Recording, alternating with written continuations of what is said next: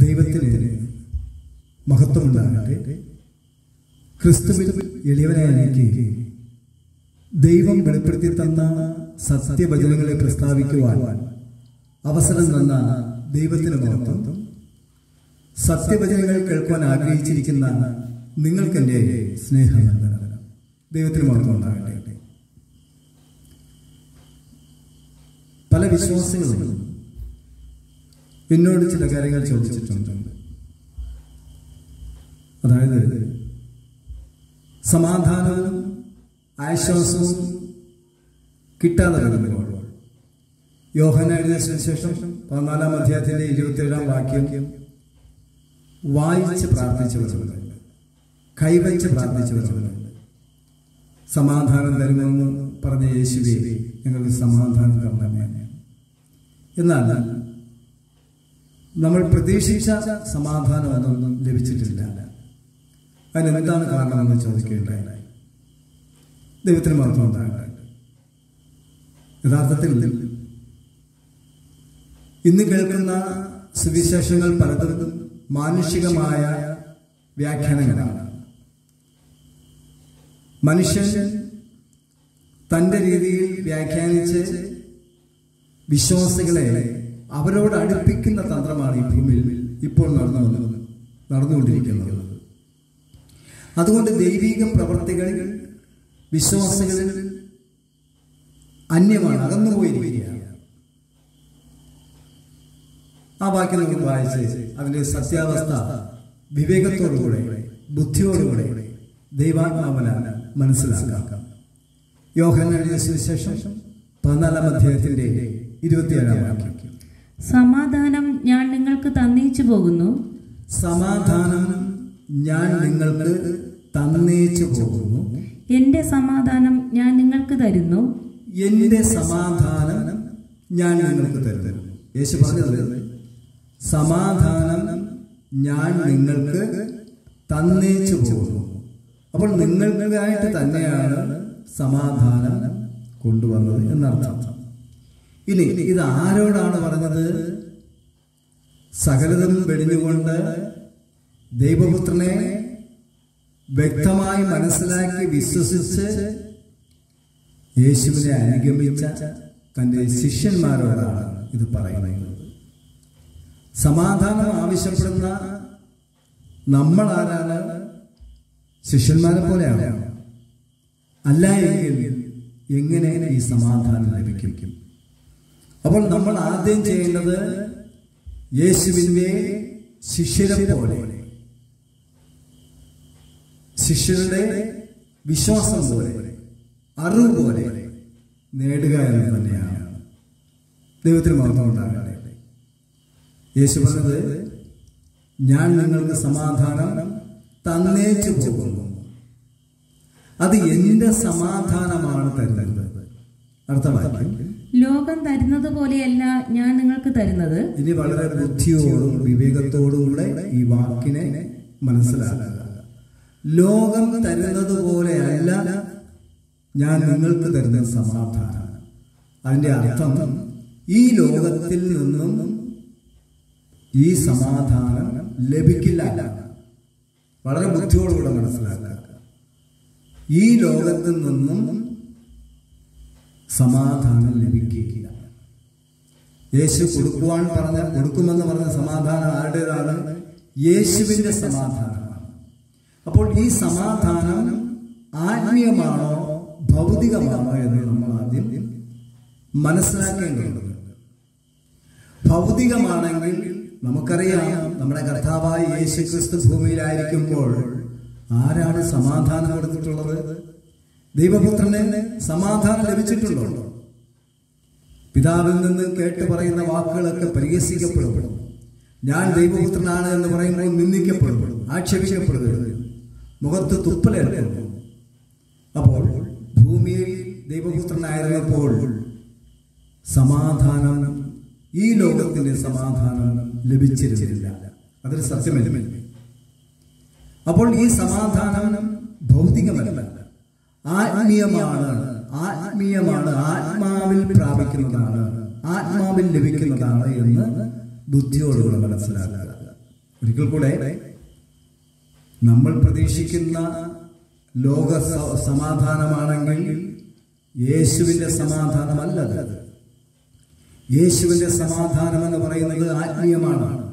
കാരണം ഭൂമിയിലായിരിക്കുമ്പോൾ യേശുവിന് ആരും തന്നെ സമാധാനം കൊടുത്തിട്ടില്ല. ദൈവത്തിന് മാത്രം ഉണ്ടാകട്ടെ. തുടർന്ന് പറയാം നിങ്ങളുടെ ഹൃദയം കലങ്ങരുത് ഭ്രമിക്കുകയും അരുത്. നിങ്ങളുടെ ഹൃദയം ഇത് കേട്ട്? കലങ്ങുകയും അരുത് ഭ്രമിക്കുകയും അരുത്. ദൈവത്തിന് സ്തോത്രം. അപ്പോൾ എന്താണ് ഈ സമാധാനം? യേശുവിന്റെ സമാധാനം. അത് മനസ്സിലാക്കാൻ വേണ്ടി യേശുവിനെ ഉപദ്രവിക്കുമ്പോൾ യേശുവിനെ പരിഹസിക്കുമ്പോൾ നിന്ദിക്കുമ്പോൾ യേശുവിന്റെ ഉള്ളിലൊരു ആശ്വാസമുണ്ട്. ഉള്ളിലൊരു സമാധാനമുണ്ട്. താൻ വന്നിരിക്കുന്നത് ഒരു ദൗത്യത്തിന് വേണ്ടിയാണ്. പിതാവ് ഏൽപ്പിച്ച ദൗത്യം പൂർത്തിയാകുമ്പോൾ ഞാൻ എത്തേണ്ടടുത്ത് എത്തുമെന്നുള്ളൊരു സമാധാനമാണ്. ആ സമാധാനമാണ് ശിഷ്യന്മാർക്ക് കൊടുത്ത സമാധാനമെന്ന് വിശ്വസിക്കുവാൻ പലർക്കും കഴിയില്ല. കാരണം നമ്മൾ ഭൗതിക സമാധാനത്തിന് വേണ്ടി ഓടിക്കൂടുന്നത് കൊണ്ട് യഥാർത്ഥ സമാധാനം പ്രാപിക്കുവാൻ കഴിയുന്നില്ല. ഇത് ശരിയാണോ ഒന്ന് ഞാൻ നിങ്ങൾക്ക് സമാധാനം തന്നേച്ചു പോകുന്നു എന്ന് പറഞ്ഞത് ഇന്നുള്ള വിശ്വാസികളോടല്ല. പിന്നെയോ ദൈവത്തെ ദൈവപുത്രനെ വിശ്വസിച്ചുകൊണ്ട് യേശുവിന്റെ ശിക്ഷരായി തീർന്നവരോടാണ് ഇത് പറഞ്ഞത്. അതുകൊണ്ട് യേശുവിന്റെ ശിഷ്യരായി തീർന്നവർക്ക് മാത്രമേ ഈ യേശു പറഞ്ഞ യേശു തന്നേച്ചു പോയ സമാധാനം ലഭിക്കുകയുള്ളൂ. അപ്പോൾ ആ സമാധാനം ആത്മീയമാണ്. അത് എന്താണെന്നുള്ളത് പതിനാലാം അധ്യായത്തിന്റെ ഒന്ന് മുതൽ തന്നെ യേശു പറഞ്ഞ വാക്കുകളിലൂടെ നമ്മൾ മനസ്സിലാക്കാൻ കഴിയും. നിങ്ങളുടെ ഹൃദയം കലങ്ങിപ്പോകരുത്. നിങ്ങളുടെ ഹൃദയം കലങ്ങിപ്പോകരുത്. ദൈവത്തിൽ വിശ്വസിപ്പിൻ. ദൈവത്തിൽ വിശ്വസിപ്പിൻ. എന്നിലും വിശ്വസിപ്പിൻ. എന്നിലും വിശ്വസിപ്പിൻ. നിങ്ങളുടെ ഹൃദയം കലങ്ങരുത്. മറ്റു മനുഷ്യരെ ആരും വിശ്വസിക്കരുത്. ദൈവത്തെ വിശ്വസിക്കുക എന്നിൽ വിശ്വസിക്കുക. ഇന്നുള്ള വിശ്വാസികൾ ആരെയാണ് വിശ്വസിക്കുന്നത്? നിങ്ങൾ തന്നെ ഇങ്ങനെ പരിശോധന ചെയ്യുക.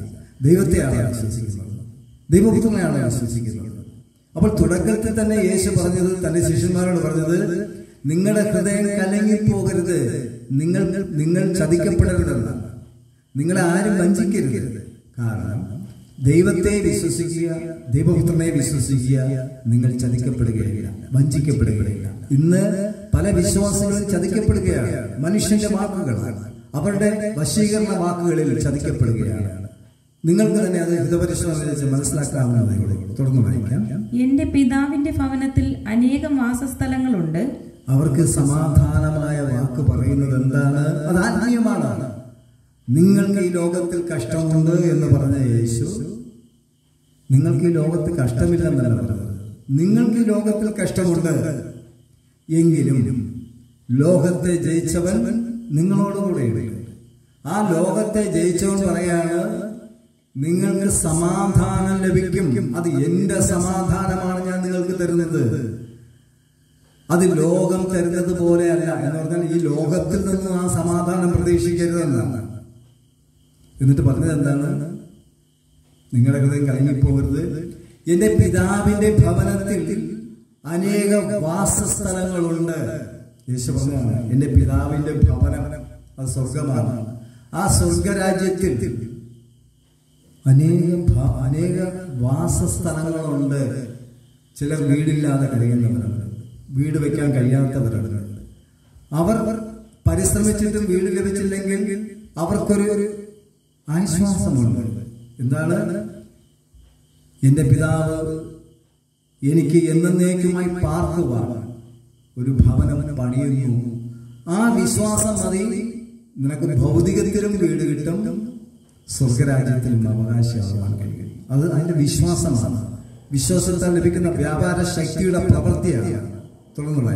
ഇല്ലെങ്കിൽ ഞാൻ നിങ്ങളോട് പറയുമായിരുന്നു. അങ്ങനെ ഒരു വാസസ്ഥലം എന്റെ പിതാവിന്റെ ഭവനത്തിൽ ഇല്ലെങ്കിൽ ഞാൻ നിങ്ങളോട് പറയുമായിരുന്നു. ഞാൻ നിങ്ങൾക്ക് സ്ഥലം ഒരുക്കുവാൻ പോകുന്നു. ഞാൻ നിങ്ങൾക്ക് സ്ഥലം ഒരുക്കുവാൻ പോകുന്നു. ഞാൻ പോയി നിങ്ങൾക്ക് സ്ഥലം ഒരുക്കിയാൽ. ഞാൻ പോയി നിങ്ങൾക്ക് സ്ഥലം ഒരുക്കിയാൽ. ഞാൻ ഇരിക്കുന്ന ഇടത്ത് നിങ്ങളും ഇരിക്കേണ്ടതിന്. ഞാൻ ഇരിക്കുന്ന ഇടത്ത് നിങ്ങളും ഇരിക്കേണ്ടതിന്. പിന്നെയും വന്ന് നിങ്ങളെ എന്റെ അടുക്കൽ ചേർത്തുകൊള്ളും. പിന്നെയും വന്ന് നിങ്ങളെ എന്റെ അടുക്കൽ ചേർത്ത് കൊള്ളും എന്നുള്ള ഉറപ്പ് ഭൂമിയിലായിരിക്കുമ്പോൾ യേശു തന്റെ ശിഷ്യന്മാർക്ക് കൊടുക്കുകയാണ്. ശിഷ്യന്മാർക്ക് ദൈവരാജ്യത്തെ കുറിച്ച് വ്യക്തമായിട്ട് അറിയാമെന്നുള്ളത് കൊണ്ടും ദൈവത്തെയും ദൈവപുത്രനെയും വളരെ പൂർണ അറിവോടുകൂടെ വിശ്വസിച്ചത് കൊണ്ടും അവർക്കത് മനസ്സിലായി. അതവർ വിശ്വസിച്ചു. ആ യേശു വായ്പത്തം ചെയ്ത സമാധാനം അവർ പ്രാപിച്ചു. ഇതാണ് സത്യം. ദൈവത്തിൽ മാത്രം ഉണ്ടാകുന്നത് നമ്മളോ ഇപ്പോഴും സമാധാനത്തിന് വേണ്ടി ഓടി നടക്കുകയാണ്. പുരോഹിതന്മാർ പറഞ്ഞ സമാധാനം ഭൗതിക സമാധാനമാണ് നമ്മുടെ കർത്താവായ യേശു ഭൂമിയിലായിരിക്കുമ്പോൾ സമാധാനം എന്തെന്ന് അറിഞ്ഞിട്ടില്ല കാരണം അങ്ങനെ ആരും സമാധാനം കൊടുത്തിട്ടില്ലല്ലോ എന്നിട്ടും നമ്മൾ ഓടുകയാണ് ഭൗതിക സമാധാനത്തിന് വേണ്ടി. ഒരിക്കലും യേശുവിൽ നിന്നും അങ്ങനെ ഒരു സമാധാനം ലഭിക്കുകയില്ല. കാരണം യേശു പറഞ്ഞ സമാധാനം എന്ന് പറയുന്നത് ഭൗതികമല്ല അത് ആത്മീയമാണ് അത് യേശുവിന്റെ സമാധാനമാണ് തന്റെ ശിഷ്യർക്ക് കൊടുക്കാമെന്ന് പറഞ്ഞത്. യേശുവിന്റെ സമാധാനം എന്ന് പറയുന്നത് യേശുവിന്റെ ദൗത്യം പൂർത്തീകരിച്ചിട്ട് യേശു ചെല്ലേണ്ടുന്നിടത്ത് ചെല്ലുമ്പോൾ ലഭിക്കുന്ന സമാധാനമാണ് യേശുവിന്റെ സമാധാനം എന്ന് പറയുന്നത്. അതുപോലെ ഞാൻ ഇരിക്കുന്ന ഇടത്ത് നിങ്ങളും വരുമ്പോൾ എന്റെ സമാധാനം നിങ്ങളിൽ പൂർണമാകുമെന്ന് തന്നെയാണ് യേശു പറഞ്ഞതിന്റെ അർത്ഥം. അത് മനസ്സിലാക്കുവാൻ കഴിയാതെ പോയത് ആഴതെറ്റാണ് തെറ്റാണ്? നമ്മുടെ തെറ്റാണ് നമ്മൾ ഇപ്പോഴും ഭൗതിക സമാധാനത്തിന് വേണ്ടി അന്വേഷിച്ച് നടക്കുകയാണ്. ഒരിക്കൽ കൂടെ യേശുവിന്റെ സമാധാനമാണ് തന്റെ ശിഷ്യന്മാർക്ക് കൊടുക്കാമെന്ന് യേശു പറഞ്ഞുവെങ്കിൽ ആ സമാധാനം ഈ ലോകത്തിൽ നിന്നുള്ളതല്ല. പിന്നെയോ യേശുവിന്റെ ദൗത്യം പൂർത്തീകരിച്ച ശേഷം യേശു സ്വർഗത്തിൽ പ്രവേശിക്കും. ദൈവത്തിന്റെ അടുക്കിലേക്ക് ചെല്ലും. അവിടെ ചെന്നിട്ട് ശിഷ്യന്മാർക്ക് എന്ത് ചെയ്യും? വാസസ്ഥലം ഒരുക്കിയിട്ട് ശിഷ്യന്മാരെ കൂട്ടിച്ചേർത്ത് കൊണ്ടുപോകുവാണ് വീണ്ടും വരും. വരും അങ്ങനെ വീണ്ടും വന്ന് തന്റെ ശിഷ്യന്മാരെ പിതാവിന്റെ ഭവനത്തിലേക്ക് കൊണ്ടുപോകുമ്പോൾ നിങ്ങൾക്ക് എന്റെ സമാധാനം പൂർണമാകുമെന്നാണ് എന്റെ അർത്ഥം.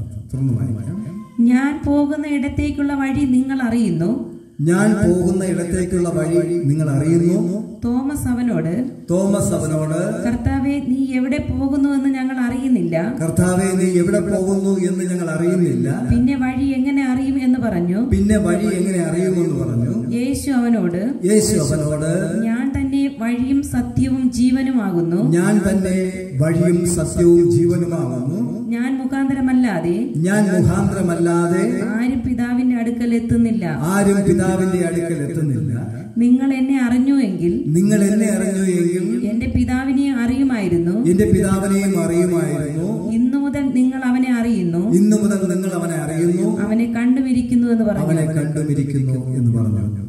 ഇനിയുള്ള വാക്കുകളെല്ലാം സമാധാനത്തിന്റെ വാക്കുകളാണ്. ഒന്ന് തന്റെ ശിഷ്യന്മാർക്ക് ഉറപ്പ് കൊടുക്കുകയാണ്. ഞാനിരിക്കുന്നിടത്ത് നിങ്ങളെയും ഞാൻ ചേർക്കും. ദൈവത്തിന്റെ സ്തോത്രം. അവിടെ കൊണ്ടുപോയി അങ്ങനെ മനസ്സിലാക്കി വിശ്വസിച്ച ശിഷ്യന്മാർക്ക് സമാധാനം ലഭിച്ചു. ആശ്വാസം ലഭിച്ചു. നമ്മൾ നാമും ആ ആശ്വാസവും സമാധാനവും പ്രാപിച്ചിട്ടുണ്ടോ. പ്രാപിക്കണമെങ്കിൽ സ്വർഗരാജ്യം എന്ത് എന്ന് അറിഞ്ഞിരിക്കണം. സ്വർഗരാജ്യത്തിൽ നമ്മുടെ പദവി എന്താണെന്ന് മനസ്സിലാക്കിയിരിക്കണം.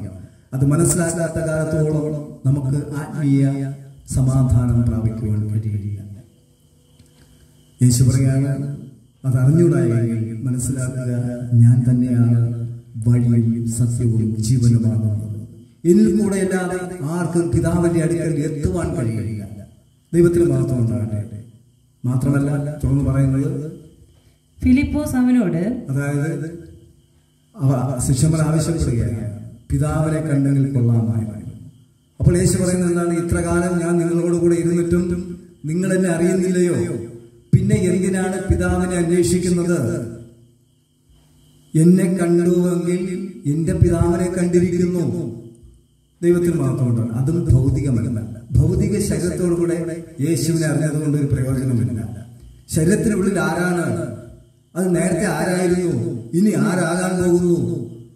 ദൈവവും യേശുവും തമ്മിലുള്ള ബന്ധം എന്താണ് എന്ന് മനസ്സിലാക്കുന്നവർക്ക് ദൈവിക സമാധാനം ലഭിക്കുമെന്ന് തന്നെയാണ് ഇതിന്റെ അർത്ഥം.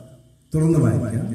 ഫിലിപ്പോസ് അവനോട് ഫിലിപ്പോസ് അവനോട് കർത്താവെ പിതാവിനെ ഞങ്ങൾക്ക് കാണിച്ചു തരണം. അങ്ങനെയെങ്കിൽ പിതാവിനെ ഞങ്ങൾക്ക് കാണിച്ചു തരണം. എന്നാൽ ഞങ്ങൾക്ക് മതി എന്ന് പറഞ്ഞു. എന്നാൽ ഞങ്ങൾക്ക് അത് മതി എന്ന് പറഞ്ഞു. യേശു അവനോട് പറഞ്ഞത് യേശു അവനോട് പറഞ്ഞത് ഞാൻ ഇത്ര കാലം നിങ്ങളോടുകൂടെ ഇരുന്നിട്ടും ഞാൻ ഇത്ര കാലം നിങ്ങളോടുകൂടെ ഇരുന്നിട്ടും നീ എന്നെ അറിയുന്നില്ലയോ ഫിലിപ്പോസേ? നീ എന്നെ അറിയുന്നില്ലയോ ഫിലിപ്പോസെ? എന്നെ കണ്ടവൻ പിതാവിനെ കണ്ടിരിക്കുന്നു. എന്നെ കണ്ടവൻ പിതാവിനെ കണ്ടിരിക്കുന്നു എന്ന് പറഞ്ഞാൽ ഈ കാണുന്ന കണ്ണുകൊണ്ട് യേശുവിനെ കണ്ടു എങ്കിൽ അതിനെ പിതാവ്. അപ്പം അങ്ങനെയുള്ളവൻ പിതാവിനെ കണ്ടു എന്നല്ല അർത്ഥം. എന്നെ കണ്ടവൻ എന്റെ പിതാവിനെ കണ്ടിരിക്കുന്നു എന്ന് പറഞ്ഞത് എന്നെ അറിഞ്ഞവൻ. ഞാൻ ആരാണെന്ന് മനസ്സിലാക്കിയവൻ എന്റെ പിതാവിനെ മനസ്സിലാക്കിയിരിക്കുന്നു. അല്ലാതെ ഈ കണ്ണുകൊണ്ട് യേശുവിനെ കണ്ടതുകൊണ്ട് ദൈവത്തെ കണ്ടു എന്നല്ല. യേശു ആരാണ്? യേശു ജനിച്ചത് എന്തിന്? എങ്ങനെ ജനിച്ചു? യേശുവിന്റെ ഉദ്ദേശം എന്താണ്? യേശുവിന്റെ ലക്ഷ്യം എന്താണ്? യേശുവിന്റെ സ്വർഗത്തിൽ പോയി എന്താണ് ചെയ്യാൻ പോകുന്നത്? യേശു ആരാണ്? യേശുവിന്റെ ഉള്ളിലെ ആത്മാവ് എന്താണ്? ഇങ്ങനെയുള്ള കാര്യാദികൾ മനസ്സിലാക്കുന്നതിനെയാണ് എന്നെ കണ്ടവൻ എന്റെ പിതാവിനെ കണ്ടിരിക്കുന്നു. പിന്നെ പിതാവിനെ കാണണം എന്ന് നീ പറയുന്നത് എങ്ങനെ? ഞാൻ പിതാവിലും ഞാൻ പിതാവിലും പിതാവ് എന്നിലും ആകുന്നു എന്ന് പിതാവ് എന്നിലും ആകുന്നു എന്ന് നീ വിശ്വസിക്കുന്നില്ലയോ? നീ വിശ്വസിക്കുന്നില്ലയോ? ഞാൻ നിങ്ങളോട് പറയുന്ന വചനം ഞാൻ നിങ്ങളോട് പറയുന്ന വചനം സ്വയമായിട്ടല്ല സംസാരിക്കുന്നത് എന്റെ ഇഷ്ടപ്രകാരമല്ല സംസാരിക്കുന്നത് എന്നിൽ വസിച്ചുകൊണ്ട് പിതാവ് എന്നിൽ വസിച്ചുകൊണ്ട് തന്റെ പ്രവൃത്തി ചെയ്യുന്നു. തന്റെ പ്രവൃത്തി ചെയ്യുന്നു. ഞാൻ പിതാവിലും ഞാൻ പിതാവിലും പിതാവ് എന്നിലുമെന്ന് പിതാവ് എന്നിലുമെന്ന് എന്നെ വിശ്വസിപ്പിൻ. എന്നെ വിശ്വസിപ്പിൻ. അല്ലെങ്കിൽ പ്രവൃത്തി നിമിത്തം എന്നെ വിശ്വസിപ്പിൻ. ഇല്ല എങ്കിൽ പ്രവൃത്തി നിമിത്തം വിശ്വസിപ്പിൻ എന്ന് പറഞ്ഞാൽ രോഗസൗഖ്യവും ഭൂതസൗഖ്യവും അല്ല അങ്ങനെയാണ് പലരും കരുതുന്നത്. എന്റെ പ്രവൃത്തി കണ്ട് വിശ്വസിപ്പിൻ എന്ന് പറയുമ്പോൾ പലരും മനസ്സിലാക്കുന്നത് യേശുവിന്റെ പ്രവൃത്തി. എനിക്കറിയാമല്ലോ കുഷ്ഠരോഗികളെ സൗഖ്യമാക്കി മുടന്തരെ എഴുന്നേൽപ്പിച്ചു. കൂടെ ഒരു കാഴ്ച കൊടുത്തു മരിച്ചവരെ എഴുന്നേൽപ്പിച്ചു. ഇത് നമുക്കറിയാമല്ലോ. ആ പ്രവൃത്തിയിൽ ഞങ്ങൾ യേശുവിനെ വിശ്വസിക്കുന്നല്ലോ. അതല്ല ഇവിടെ. ഇവിടെ അതല്ല ഇവിടെ പറയുന്നത്. നീ ദൈവപുത്രനെ വിശ്വസിക്കുകയും ദൈവത്തെ സ്നേഹിക്കുകയും ചെയ്യുമ്പോൾ ദൈവം വ്യക്തിപരമായി പാസ്റ്റിലൂടെ അല്ല മൂന്നാം സ്ഥാനം ഒരാളുടെ അല്ല നിന്നോട് തന്നെ നേരിട്ട് ഇടപെടുകയും നിന്റെ നിന്റെ ജീവിതത്തിൽ ദൈവം പ്രവർത്തിക്കുകയും ചെയ്യും. ആ പ്രവൃത്തിയിലൂടെ യേശു ആരാണെന്ന് നിനക്ക് തിരിച്ചറിയുവാൻ കഴിയും. മോശയോട് സംസാരിച്ചതുപോലെ. പൂർവികന്മാരായ പുരോഹിതന്മാരോട് ഇടപെട്ടതുപോലെ വ്യക്തിപരമായി നിന്നോട് ഇടപെടണം. ഇവിടെ വ്യക്തിപരമായി ഇടപെടാൻ സമ്മതിക്കില്ല. കാരണം എന്താണ്?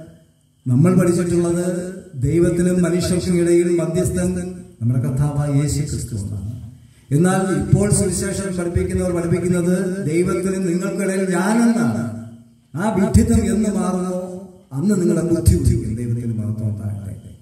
ഇത് ആത്മീയമാണ്. ദൈവം ആത്മീയമാണ്. നമ്മുടെ കർത്താവായ യേശു ക്രിസ്തു ആത്മീയമാണ്. ശരീരമില്ലാത്തവരാണ്. നമ്മൾ ശരീരമുള്ളവരാണ്. അപ്പോൾ ശരീരമുള്ള ഒരാൾക്ക് വേണ്ടി ശരീരം ഉള്ള മറ്റൊരാൾക്ക് എങ്ങനെയാണ് മധ്യസ്ഥ ചെയ്യാൻ പറ്റുന്നത്? എന്നെ ഒരാൾ അടിക്കാൻ വന്നാൽ ഒരുപക്ഷെ മനുഷ്യൻ ശരീരത്തോടുള്ള മനുഷ്യൻ തടുക്കുമായിരിക്കാം എന്നാൽ പിശാച് വന്നാൽ എന്ത് ചെയ്യും? തിരിച്ചറിയാം. മധ്യസ്ഥൻ ഒരുവനാണ്. നമ്മുടെ കർത്താവായ യേശു ക്രിസ്തുവാണ് ആ മധ്യസ്ഥന്റെ സ്ഥാനത്ത് നിങ്ങൾ ആരെ പ്രതിഷ്ഠിക്കുവോ അവർ നിമിത്തം നിങ്ങളുടെ ദൈവരാജ്യം നഷ്ടപ്പെടുകയാണ്. ഇതൊരു സത്യമാണ് പറയുന്നത്. ദൈവത്തിന് മാത്രം ഉണ്ടാകട്ടെ മധ്യസ്ഥനായി യേശുവിനെ ആരാണോ സ്വീകരിക്കുന്നത്? യേശു ക്രിയ ചെയ്തു തുടങ്ങും. അങ്ങനെ വ്യക്തിപരമായി എന്റെ പ്രവൃത്തിയെ കണ്ട് നിങ്ങൾക്ക് ഞാനും ദൈവവും നമ്മളെ ബന്ധം തിരിച്ചറിയണമെന്നാണ് യേശു പറയുന്നത്. അല്ലാതെ യേശു മറ്റുള്ള സ്ഥലങ്ങളിൽ രോഗികളെ സൗഖ്യമാക്കി നിനക്കുന്നൊന്നും നിന്റെ ജീവിതത്തിൽ പ്രവർത്തിക്കുന്ന പ്രവൃത്തികളിലൂടെ യേശു ആരാണെന്നും യേശുവിന്റെ പിതാവ് ദൈവം ആ ദൈവം ആരാണെന്നും നിനക്ക് തിരിച്ചറിയാൻ കഴിയുമെന്നാണ് യേശു പറഞ്ഞതിന്റെ അർത്ഥം. അതുകൊണ്ട് എപ്പോഴാണോ യേശു പറഞ്ഞ വാക്ക് മനസ്സിലാക്കുവാൻ കഴിയുന്നു. യേശു പറഞ്ഞാണ് ഞാൻ പിതാവിലും പിതാവ് എന്നിലുമാണെന്ന് നമുക്ക് വിശ്വസിക്കുവാൻ കഴിയുന്നു. ഇല്ലെങ്കിൽ അങ്ങനെയുള്ള അനുഭവമുള്ള പ്രവർത്തികൾ വെളിപ്പെട്ട് വരും അത് നിന്റെ ജീവിതത്തിൽ വെളിപ്പെട്ട് വന്നിട്ടുണ്ടോ?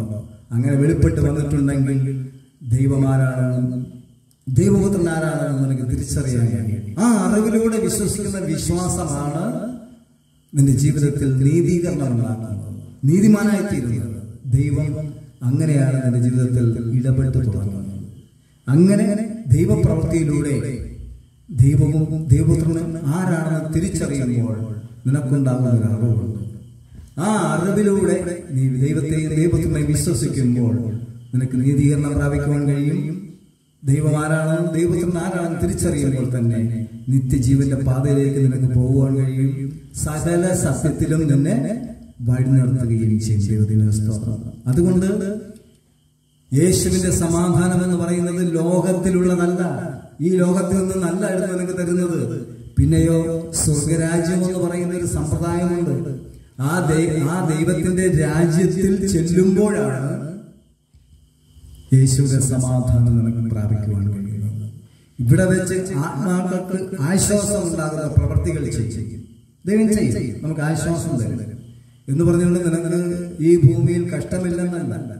കഷ്ടങ്ങൾ കടന്നു വരുമ്പോഴൊക്കെ യേശുവിനാൽ നിനക്ക് ജയിക്കാൻ കഴിയുമെന്നാണ് അങ്ങനെ ജയിച്ച് നീ വിശ്വാസത്താൽ ലോകത്തെ ജയിക്കുമ്പോൾ നിനക്കൊരു വാതിൽ തുറക്കപ്പെടും. ആ വാതിലാണ് സ്വർഗരാജ്യത്തെങ്കിലേക്കുള്ള വാതിൽ. അതുകൊണ്ട് ഭൗതികമായ സമാധാനത്തിന് വേണ്ടി യേശുവിന്റെ പുറകാലെ വന്നതുകൊണ്ട് നിനക്കൊന്നും പ്രയോജനമില്ല. നിനക്കൊരു പ്രയോജനം ലഭിക്കുകയില്ല. ആത്മീയ സമാധാനം. ആത്മീയ സന്തോഷത്തിന് വേണ്ടി നീ നിന്നെ തന്നെ ത്യജിച്ചുകൊണ്ട് യേശുവിനെ അനുഗമിച്ചു നോക്കൂ. ഈ ലോകത്തിലും നീ സമ്പന്നനായി ജീവിക്കും. ഈ ലോകത്തിൽ നീ വളരെ സന്തോഷത്തോടുകൂടെ വളരെ സമൃദ്ധിയോടുകൂടെ ജീവിക്കും. സ്വർഗരാജ്യത്തിൽ നിനക്ക് അവകാശിയായി തീരാനും കഴിയും. വ്യർത്ഥമായ വാക്കുകൾ വ്യർത്ഥമായ സുവിശേഷം കേട്ടുകൊണ്ട് നീ നിന്റെ ആത്മാവിനെ നശിപ്പിക്കുന്നതിനേക്കാൾ സത്യവചനങ്ങൾ സത്യമാണോ എന്ന് നിന്റെ കയ്യിലിരിക്കുന്ന ബൈബിൾ എടുത്ത് തുറന്ന് വായിച്ചു നോക്കൂ സത്യമാണോ സത്യമെങ്കിൽ നീ സത്യത്തെ അംഗീകരിച്ചാൽ ദൈവത്തെ അംഗീകരിച്ചു നീ മനുഷ്യന്റെ വാക്ക് കേട്ട് സത്യത്തെ ത്യജിച്ചാൽ ദൈവരാജ്യത്തിൽ നിന്നും അന്യപ്പെട്ടു. ഇത് മനസ്സിലാക്കിക്കൊണ്ട് സത്യവചനത്തിലൂടെ ദൈവരാജ്യത്തിൽ അംഗമായി ആത്മീയ സന്തോഷവും ആത്മീയ ആനന്ദവും ആത്മീയ സമാധാനവും പ്രാപിച്ചു ഈ ലോകത്തെ ജയിക്കുവാൻ ദൈവം നിങ്ങളെ സഹായിക്കട്ടെ എന്ന് പറഞ്ഞുകൊണ്ട് വാക്കിൽ നിന്ന് വിരമിക്കുന്നു. ദൈവത്തിന് മാത്രം ഉണ്ടാകട്ടെ.